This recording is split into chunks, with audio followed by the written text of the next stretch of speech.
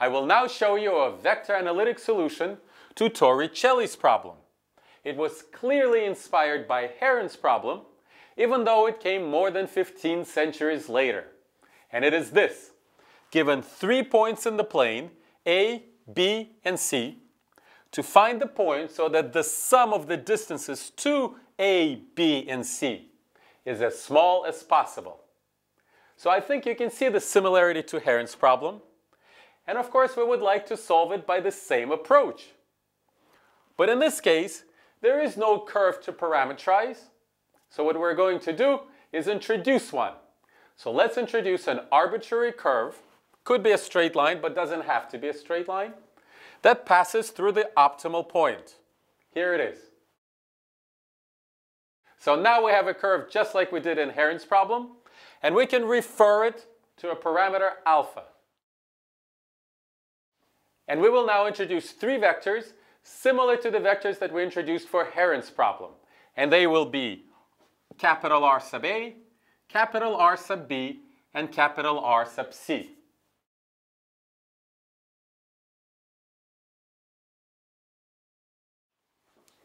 And each one of them is a function of the parameter alpha.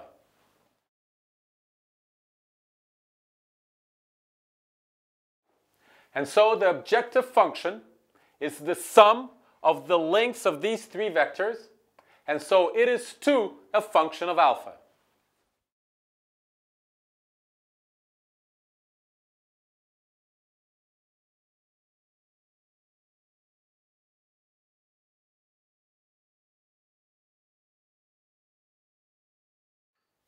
You will notice that I dropped the argument alpha from each of the terms just to keep the expression shorter.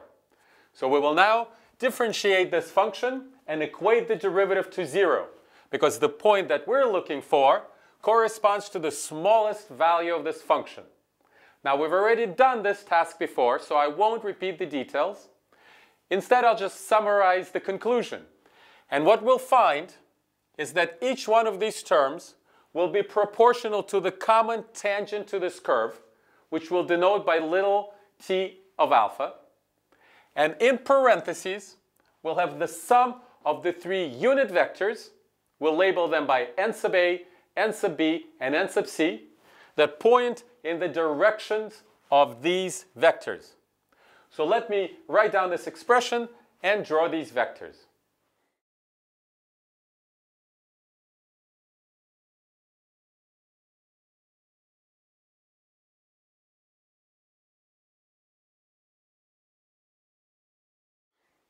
So this is just about the final analytic answer. So from this answer, well, what's the answer? We have to equate this expression to zero. So what can we conclude from this answer? Can we conclude that this sum in yellow is zero? No, we can't yet. All we can conclude at this point is that the sum is orthogonal to the vector t. That's all. So are we stuck and can we move no further? Well, no. We must now remember that the curve that we drew was arbitrary. So this sum is orthogonal to the tangent to this curve, but it's also orthogonal to the tangent to any other curve that we could have drawn through this point. So it must be simultaneously orthogonal to any direction of any line that passes through this point.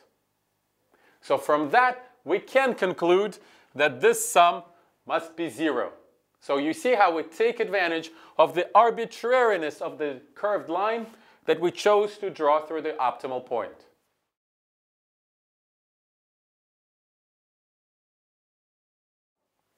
So that's our final analytical conclusion. The sum of the three unit vectors must equal zero. So in other words, this point need to be positioned in such a way that the resulting unit vectors that point in the directions of these segments add up to zero. That's the analytical conclusion. But what's the geometric interpretation?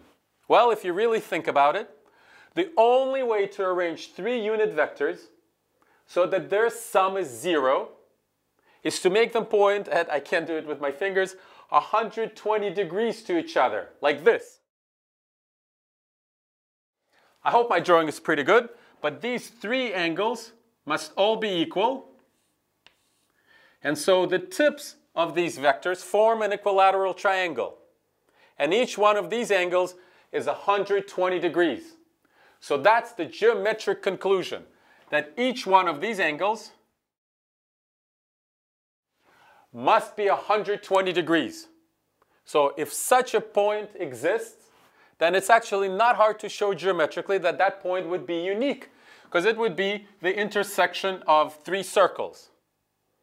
But you will find that in some situations, this, for instance, when one of the angles is more obtuse than 120 degrees of this outer triangle ABC, then this point, I think, would coincide with, that up to with the vertex associated with that obtuse angle. But other than that, this point would be unique. And you once again see just how powerful our analytic framework is. We really forward, we really followed just straightforward steps and applied strict rules of differentiation and a little bit of algebraic insight, I would say, to arrive at our beautiful final answer. And it's important to know that this problem too has a geometric solution which has nothing to do with vector algebra. And it's a very beautiful solution. I believe it was inspired by Heron's solution. And it involves a very sophisticated rotation. And I talk about it in my first lecture in tensor calculus. But to tell you the truth, I don't remember that solution, even though I do remember that it was very beautiful. But what I enjoy the most at this point is analysis like this, where all you need to do is carefully define your problem express it in algebraic terms via the dot product.